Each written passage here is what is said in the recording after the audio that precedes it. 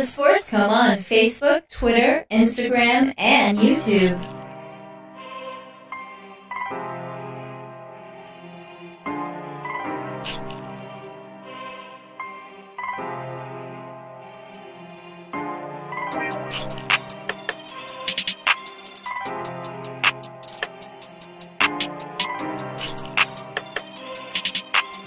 Listening to the Sports Coma with Big Q and the guys. Best fucking sports podcast in the country. Yeah, so I'm back to give my dissertation, uh, my dissection of Brandon Silvers, man. A real pure pocket passer. I'm glad this dude uh, chose us over the Eagles. He had an invitation to go to the Super Bowl championship, but he wanted to come to the Saints. Put in that work. A hometown kid from Orange Beach, Alabama, man. 70% completion rate over the career passing. Uh, 70, 71 touchdowns, 29 interceptions. Um, 10,000 passing yards over four years. Pretty good, pretty good for a 6'3", 219 pound kid out of Alabama, about two hours away from us. Hometown kid, homegrown. Uh, really looks like someone who could put the ball pretty much anywhere from the pocket. Not a lot of mobility, but I'm excited to see him there too. And I think we're going to have a real fierce quarterback competition and a competition all around the board with all these undrafted free agents in our draft. So we looking good. Big Q, what you think, bro? I think that's a pretty good assessment. Uh, DC uh, well said. Uh, it'll be the best QB competition we've seen in some time, perhaps. Of course, we know Drew Brees is obviously the Drew the starter. Tear, tear behinds up on the trick passes. But it's, but right, it's going to be a battle behind him to see, who, you know, you know, probably the Saints might practice squad one of these guys. They got a lot of young, capable guys here, man. And uh, it's not going to be a cakewalk for Tom Savage, so he better have his football in hand and have his become a football savage. mind. Right, he better do it because this other kid, Mark Ingram or something, become savage. because Taysom Hill pretty much has solidified the spot because not only he just holds the clipboards, but he's on special teams making tackles. So he's kind of played into that dynamic of not just being somebody holding the clipboard. Anyway, let's move into some of our other topics in this segment. We're to finish out before we head out. And let's hit this one, DC. The weakest spot left on our team post draft, post free agency period, post college free agent signings, what would be your assessment as the weakest position left? And of course, y'all guys out there, comment, please comment. Uh, give us some interaction on this topic. Tell us who you believe is the weakest spot. DC, who do you believe is the weakest spot on our team left? Fullback. Um, we basically got Zach Line and who else? I think some other guy. Uh, they're they're okay. I really would have liked us to get that kid from Oklahoma, but um, we didn't. So I mean, we basically plugged all all our holes, in my opinion, for as depth. And I, I feel like we have an impact player on every level of our defense and our offense. Um, you can go down the list. Um, some positions we have several impact players. So the only weakness I can think of is fullback. Yeah, I would have to. I, I I don't know if I I'll add the fullback in there, but I mean, at first I was thinking they didn't do anything to address the tight end position to after the draft, and I'm kind of curious. pro- prospects I showed you. I seen those guys yelled Got at- like three of them. One of them might turn into something. Right, yeah, and I and I, I could see that because we have a lot of the established guys right here. They on one year contracts left, and and perhaps the Saints won't get a little bit more versatile. But Yelder and the other guy, Shring, Shring, whatever his name is, those guys are real. Right, they're real intriguing, and if that big old tight end come up there from Minnesota, six foot eight, two hundred and eighty pounds, damn near an offensive lineman. You know, it'll be interesting to see what these guys could do. But you know, I, my call would be tight end. You know, based upon that. But all right, let's move into the next topic, and we're gonna talk about the NFC South outlook. Of course, the Saints wasn't only the only other team to make upgrades on their teams. You know, coming into it, Atlanta, of course, had an interesting draft. They got Calvin Ridley. 26 overall in the first round. Second round, they got another cornerback, Isaiah Oliver, out of Colorado to help out with their secondary. Third round, they got uh, Deadrin Senat, a defensive tackle to replace Dontari Poe, another running back. In the fourth round, behind those splendid two running backs, they got Ito Smith out of Southern Miss. And then a sixth round draft pick, they, they were able to take Russell Gage, our former LSU Tiger guy. And of course, in the sixth round, Foy Oluokun for a linebacker from Yale, who's probably just a depth uh, special team sign, perhaps a special teams guy. Um, you know, DC looking at Tampa Bay running down these, and then of course we'll just bounce it back and then give our our, our takes. Tampa Bay first round. Vita Vea, big old defensive tackle, sits right next to Gerald McCoy. Very interesting. Ronald Jones out of USC in the next round. They had two uh, second round, look like they had three uh, second round picks. Uh, MJ Stewart, the cornerback out of North Carolina. Carlton Davis, Carlton Davis, the cornerback from Auburn. In the third round, they got Alex Cappa, offensive guard for Humboldt State. Round four, they got Jordan Whitehead, a safety out of Pittsburgh. Fifth round, Justin Watson, wide receiver from Penn. Uh, and in the sixth round, Jack Cichy, linebacker for Wisconsin.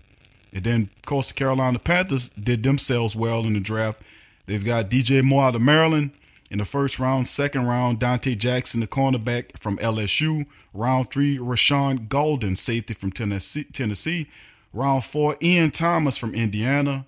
And then also in the fourth, they got Marquis Haynes, an edge rusher from Mississippi. Round five, Jermaine Carter, linebacker from Maryland.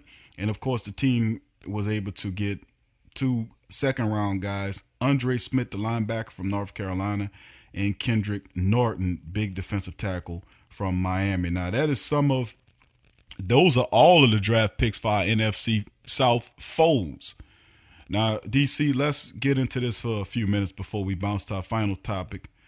But whom out of all these picks that I just named out, who you believe, and of course you guys interact with us as well and tell you tell us who you think uh, have got a serious upgrade to give the Saints some opportunity. Because I think, and I'm not just saying this because well, I'm a Saints fan, DC. I think that the Saints are legitimate uh, Super Bowl contenders. A lot of people feel that way. In NFC South, who's going to be the biggest hurdle uh, based upon uh, what we see here? Um, now you got to take in consideration what I'm saying. It, will be the biggest hurdle for the Saints within the division, just based on playing them. Um, we got a lot of good teams. Atlanta can be a playoff team again. Uh, so can Carolina. But I honestly think the biggest hurdle for the Saints in the division rivalry is going to be the Tampa Bay Buccaneers. Tampa Bay had an excellent draft. Um, they got Vita Vea to pair alongside of Gerald McCoy, who already gives us headaches, and they have Jason Paul, Jason Pierre-Paul already there on offense. Curry, don't forget Curry. They got from Philly. Yeah, and Vin, Vin Curry. I almost forgot about him. Um, the hole they had on offense was running back. They got Ronald Jones. Ronald Jones fits well with, with Very- and then they got the other guy they had from last year to add him with them. right. And Peyton Barber. So yeah, Tampa Bay looks formidable. very, very good running back there. And then they got a bunch of other guys to fill out their roster. They got a decent cornerback out of Auburn too. I actually like that guy. Um, they had a very excellent draft, and they made key free agent acquisitions. But um, a close second, I would have to say Atlanta. I think the impact of Calvin Ridley Wow. is going to be Two astronomical. Alabama wide receivers. to pair that up with Mohamed Sanu, and Yeah. uh, you know that's headaches for any team, not Yeah. just us. Yeah, you- you're absolutely right. A lot of people say Atlanta. They like Calvin Ridley plugging Tampa Bay next gonna to be the sleep. I'm telling you, man. uh, people are to, uh, sleeping on Tampa Bay. They, I mean, they don't think Jason Pierre-Paul, Vita Vea, and Gerald McCoy and Vinny Curry going.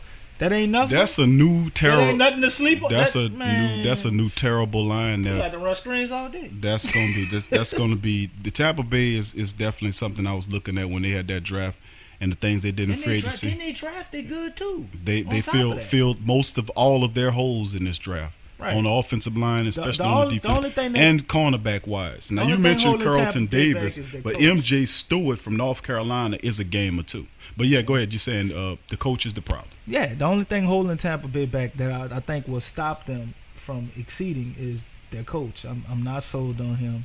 Uh, last year, their team basically mentally malfunctioned after that game with us, and um, they weren't able to recover from that. And I think they're gonna come back this year. I mean, don't think you're gonna get the same team you got last year against these people. Them people gonna be pissed when they play us. Yeah, I we, think it's gonna be a very hard fought game, and they did beat us, I believe, the second time they played us last year. So, um, Tampa Bay has always been a hard team for the Saints to play, and I think uh, this year ain't gonna be no different. Probably be a little harder than usual. Yes, uh, yeah, that's absolutely right. We're gonna look at it uh, as well. Uh, people, please interact with us. Give us your commentary. Hit the this, the comment section up. Tell us who you believe will be the biggest hurdle We for the Saints see NFC Atlanta. South. So Atlanta, of course, Atlanta, Atlanta, Atlanta, Atlanta done some stuff, but hey, man, don't sleep on Tampa and Carolina too. Got some weapons for Cam, receiver, uh, Cam. Newton. So But let's move it to the next topic. And they lost. They lost their D tackle, so their they defense may not be as potent, even though I think they still be good. Right. Let's move it to the next topic, and that's the top 100 came out uh, a few days ago and listed a few Saints very, very I don't know to say high or low, but not right. Let's put it to you like that. Low, low, low, They had the, the top 100 came out and listed uh, cornerback Marshon Lattimore Rookie of the Year as 82. That's the NFL Network's ranking.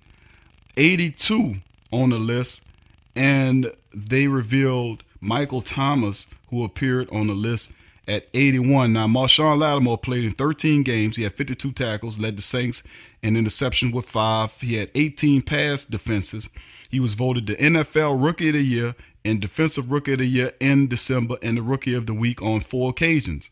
He's the top rated cornerback and was selected selected to the 2018 Pro Bowl. So not only did he win the Rookie of the Year, but he was a Pro Bowler in his initial year as well. And of course, we don't need to say too much about the ever powerful Mike Thomas who Go watch the continues to Minnesota ascend. Vikings games But- and see what he did to Xavier Rhodes. Right. Blocking too. Yeah, he punished. I mean, he was Knocked him out physical. Yeah, he did. He was pretty tough. But the question is, we look at it. This is not right here. You have Michael Thomas at 81 out of 100, and then you look at uh, Marshon Lattimore's 82 out of 100. I hope for the sake of this this this damn ranking that It's voted by the players now. Yeah, well, the players is is, is there's some hate going on with the players. Do you stop hating? Y'all need to stop hating, man. Y'all know y'all most of y'all out there ain't as good as Mike Thomas or as good as this kid La- uh, Lattimore. I know a lot of them old veterans never made a Pro Bowl. None of them. Pro- some of them even got three interceptions in one season. Stop hating and get a man his due diligence. To have them way up there in the 80s, that's ridiculous, man. I mean, you know what? And then when it comes out, you're gonna see how how ridiculously stupid it is, and they might as well throw it out if they're not gonna keep it real. Yeah, but what's your take on that? Quick. definitely should be higher than the 80s. Um, I think by Marshon being a rookie, you know, you know, you gotta kind of like uh, they scale it back. That's how they feel. But you can't hide Alvin Kamara. So when I see where they put Alvin Kamara, that's gonna show the real hate. It's gonna be If in he the fall, 70s. if he fall in the 70s or the 60s, then you, yeah, man, Stop. just get rid of this. Look, man, all to y'all NFL players out there, stop hating, man. Give them people they do. Give Where do you think due. they should belong? They should be in the top, at least in the top 30. At least in the top 30. Ain't too many wide receivers played better than uh, Thomas last year. Bottom line. True. So there we go. But anyway, that's the end of the show. Thank y'all for listening to the Sports Coma with Big Q and the Guy. And as always, if you enjoy the show, you can give us some support by going to patreon.com slash the PRO Media Network. Make a donation uh, to help build the platform or join our social media pages at Facebook, Instagram, Twitter, YouTube, everywhere. From me in DC, peace.